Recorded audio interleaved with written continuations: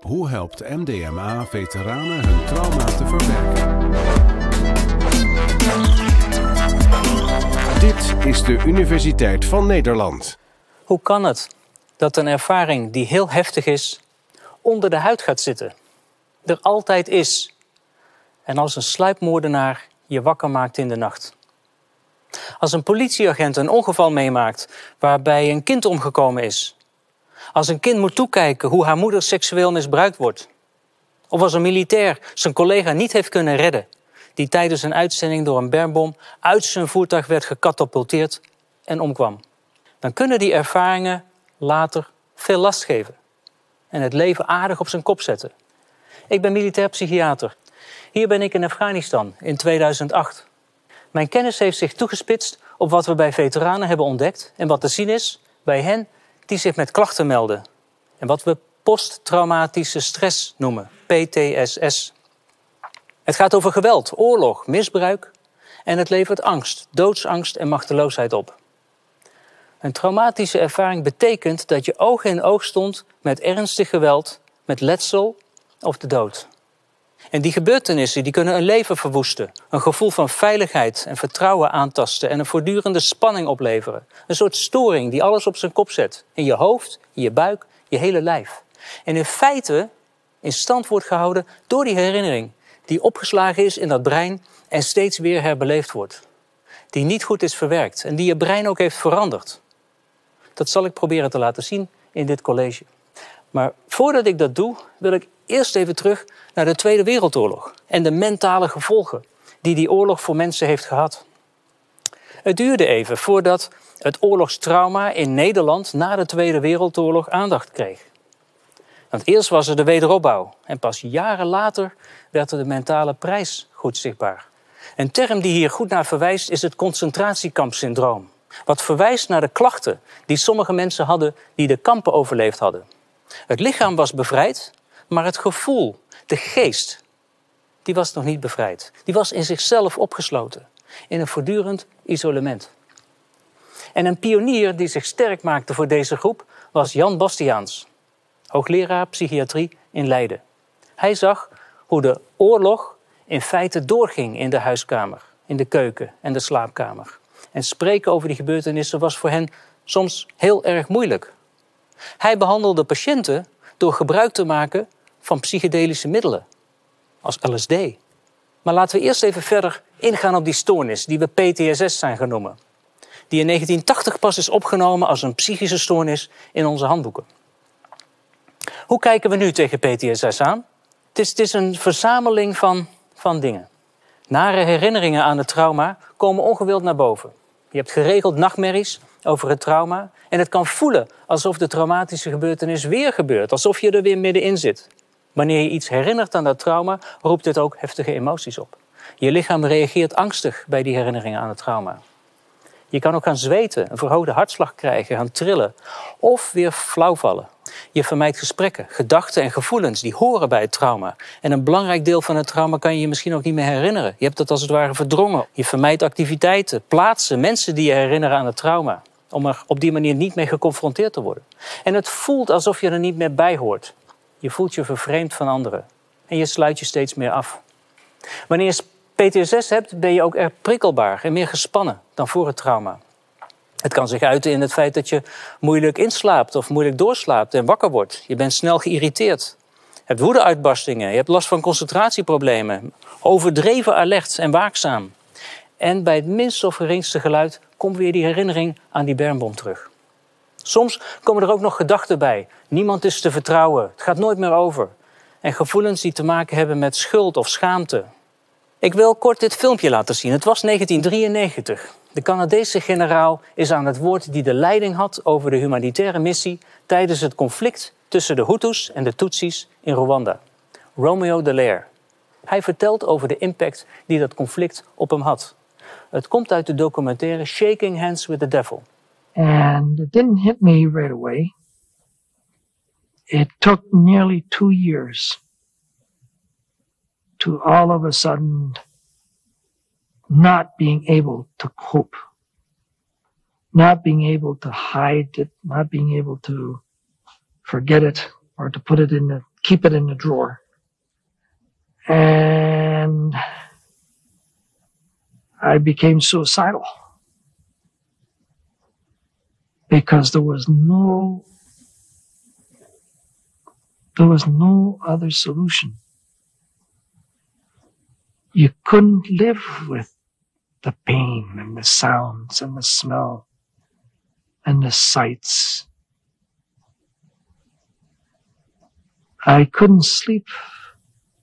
I couldn't stand the loudness of silence. Wat bedoelt de generaal met de loudness of silence? S'nachts werd er gemoord, vonden de slagpartijen plaats. En als hij s'morgens op patrouille ging, dan zag hij de lijken liggen. De nacht werd gekoppeld aan het moorden. Eenmaal thuis werd de nacht een drama en was slaap onmogelijk. Nederland heeft ook aan veel missies meegedaan. En ik laat graag dit onderzoek zien. Een groep van duizend militairen die deelnamen aan een zware missie in Afghanistan. En we recruteerden hen in de periode 2005-2008. En we volgden hen vijf jaar lang. Nu alweer tien jaar. Wat zien we? Bij 85% van deze groep ging het goed. Ze ontwikkelden geen klachten van PTSS. We noemen dat een veerkrachtige groep. En we zien twee andere groepen die wel PTSS-klachten ontwikkelden. Eén, kort op de missie. Na twee jaar bereiken zij hun piekniveau. Maar die herstellen. En ze representeren 5%. De derde groep ontwikkelt pas na enige tijd klachten. Bijna 10%. En we noemen dat een verlaten reactie. Dat wordt in verschillende studies en andere missies ook zo gezien. Die verlaten reactie is iets wat veel wetenschappers en therapeuten bezighoudt. Maar laten we eerst eens wat verder kijken naar die PTSS en kijken hoe de normale stressverwerking plaatsvindt. Die vindt eigenlijk op twee manieren plaats. Een centrale stressverwerking in de hersenen en een op afstand in het lichaam. En wat betreft die verwerking in de hersenen zijn er drie hersengebieden die belangrijk zijn. De amygdala, de hippocampus en het deel van de hersenen dat boven de ogen zit, de prefrontale cortex. De amygdala is wel te zien als het emotionele brein. De hippocampus is het schakelstation waar het geheugen gedistribueerd wordt. En de prefrontale cortex is als het ware de dirigent van alles. En daar zitten ook dingen als persoonlijkheid en het geweten. En de twee hormonen die een rol spelen zijn adrenaline en cortisol. Wat gebeurt er nou bij blootstelling aan een schokkende ervaring die later kans kan geven op die PTSS? Wel, een signaal wat binnenkomt wordt opgepikt via de neus, de geur, de ogen, wat je ziet, oren, wat je hoort en komt rechtstreeks of via een omweg bij die amygdala binnen, dat emotionele brein. En daar wordt bepaald of dat die situatie bedreigend is en of dat er angst optreedt. Maar die amygdala doet dat niet alleen. Die kijkt naar de hippocampus en die luistert naar de hippocampus of je het eerder meegemaakt hebt en geeft gelegenheid om te schakelen. En in samenspraak en in afstemming met die prefrontale cortex, als het ware de hoofdcomputer, wordt een inschatting gemaakt over de noodzakelijkheid of de mogelijkheid om te overleven, om te slaan, te vluchten, de situatie te beheersen en ook de haalbaarheid ervan in te schatten. En om dan voldoende energie te geven, heb je hormonen nodig en eventueel te vluchten. Soms komt er adrenaline vrij en is er de flight, fight, freeze reactie. Dat is een gezonde stressreactie. Bij PTSS is die verwerking ontspoord. Het probleem zit erin dat die angst, stress gekoppeld wordt aan de ervaring en niet uitdooft. Bij een herinnering aan die ervaring komt die angststress weer vrij. En die wordt die angststress nog sterker aan die herinnering gekoppeld. Hij wordt er als het ware aan vastgehecht. En iedere nieuwe herinnering geeft een verdere versmeding, we noemen dat consolidering, van die angststress aan die herinnering. Typisch is dus dat die angst niet vanzelf uitdooft en daarmee de basis legt voor PTSS. En een herinnering wordt een traumatische herinnering met die centrale rol voor die amygdala, het emotionele brein. We gingen op onderzoek uit. En we deden onderzoek bij een groep van 30 militairen van die hele grote groep waar ik het net over had, voordat ze naar Afghanistan gingen en nadat ze zes maanden op missie waren geweest. En we onderzochten de toestand van die amygdala in de scanner. Na de missie, direct na de missie, stond die amygdala heel strak afgesteld. Hij reageerde hyper. soort standje oorlog. Dag en nacht bezig zijn met dreigingen, gevoelens van veiligheid, onveiligheid, veiligheid, onveiligheid, had die amygdala enorm wakker gemaakt. Alsof je een spier traint in de sportschool, was die amygdala getraind op uitzending. Maar was dat nu die PTSS dan? Of zouden ze nog PTSS krijgen? Dat vroegen wij ons af. Dus we maten het nog een keer, twaalf maanden later. En wat we toen zagen was interessant. Als die dreiging weg was, thuis in Nederland, was er geen reden voor de amygdala om nog te vuren en nam de gevoeligheid er vanaf. Ze hadden de ervaringen verwerkt. En dat klopte, want deze groep militairen hadden ook geen PTSS ontwikkeld. Ze hoorden bij die 85 procent. Ze waren veerkrachtig. Hun amygdala kwam terug tot rust. Deze gezonde veteranen zijn daardoor in staat om de gebeurtenis en de nare herinneringen die vastzitten in ons geheugen, de hippocampus, goed te verwerken. Maar als die amygdala zou zijn blijven vuren, zou het niet goed geweest zijn. Die amygdala vraagt dan zoveel aandacht van het brein. Die zit als het ware de toegang naar de hippocampus letterlijk in de weg. En dat gebeurt er dus bij de militairen die wel last hebben van PTSS. En hierdoor zijn zij niet in staat om die schokkende gebeurtenis te verwerken. Wat doen we nu bij therapie? Want therapie is erop gericht om die gevoelens terug te halen en te leren dat de herinneringen echt iets van het verleden zijn en niet van nu. Van standje oorlog naar op de plaats rust. Dus we proberen het brein tot rust te brengen, zodat die angst uit dat verhaal verdwijnt. En daar gebruiken we soms technieken bij. Sommigen kennen de cognitieve gedragstherapie of EMDR. Soms gebruiken we er medicijnen bij om de slaap te helpen en zo het trauma te verwerken. Het lukt vaak best goed, maar ook niet altijd. Want zoals we zagen, sommigen, die 10%, ontwikkelen pas na langere tijd PTSS. En juist bij deze groep spelen ook andere processen, soms schuld en schaamte, een rol als aanjagers van de symptomen en blijven die amygdala pesten. Deze reacties zitten dus meer in iemands hoofdcomputer en schuld en schaamte zijn niet alleen meer vanuit de amygdala gestuurd. En bedenken dat in die situaties de prefrontale cortex als het ware van slag is. Even terug nu. Wat deed Bastiaans met die patiënten die na jaren nog vastzaten in het kamp en er niet meer los van kwamen?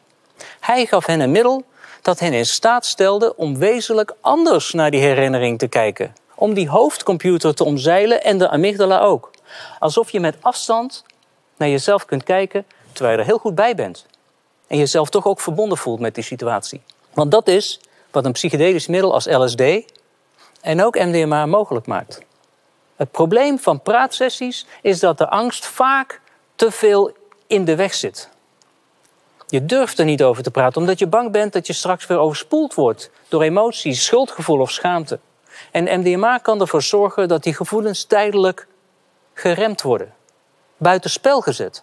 Daardoor geeft het je de kans om tijdens de sessie de gebeurtenissen te herbeleven zonder dat angst in de weg zit. Het maakt als het ware een soort vrije ruimte om te verkennen naar datgene dat echt knel is gaan zitten. Een goed voorbeeld is een veteraan die zijn collega, zijn buddy, niet had kunnen redden terwijl ze onder vuur lagen. Hij voelde zichzelf erg schuldig en dat ging hem parten spelen toen hij weer thuis was gekomen. Met die MDMA kon hij opnieuw contact maken met het gevoel dat hij gefaald had en tekortgeschoten was. En hij kon leren zichzelf vergeven. Als het ware in slow motion te voelen hoe het was zonder die angst van toen. Yeah. I don't I see it completely different now. I thinking about it, I really that moment that I got blown up when it was happening and everything was moving so slow and my mind was just racing at the speed of light. It was and I can really go back and visualize. I've never been able to visualize it so hard before. I can mm-hmm. really feel Twee sessies MDMA onder begeleiding van twee therapeuten lieten zien dat nadien de klachten zeer sterk verminderden. Dat zie je hier. Deze deelnemers kregen een placebo of MDMA. In dergelijke sessies wordt meestal 120 milligram gegeven. De placebo-groep reageerde ook wel op de therapie, maar niet zo goed als de MDMA-therapie.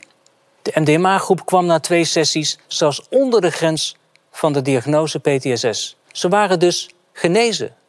Mensen zeiden ook, ik kon met meer afstand naar mijn traumatische herinneringen kijken en ik kon makkelijker emoties ervaren zonder erover spoeld door te geraken. Er zijn inmiddels zes studies gedaan. Keurige studies, placebo gecontroleerd bij veteranen, politieagenten en andere mensen met PTSS. En de effecten bleven lang aanhouden. Over een periode van meer dan twee jaar hield dat effect aan. In dit korte college heb ik uitgelegd wat PTSS is en de focus gelegd op een nieuwe manier van behandelen met MDMA. Als de resultaten van de nieuwe studies net zo positief zijn als van de eerste studies, dan wordt de registratie waarschijnlijk snel mogelijk. En is de verwachting dat deze behandeling met MDMA aangeboden gaat worden in gecertificeerde centra.